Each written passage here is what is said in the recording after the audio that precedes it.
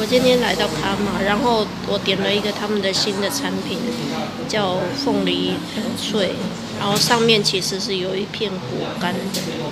那我们来喝喝看吧。它下面其实有一层凤梨汁，那喝之前要把它搅散。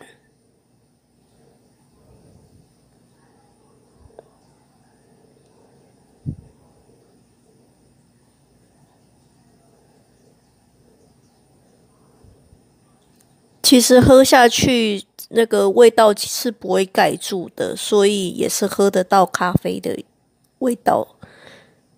那就这样子喽，拜拜。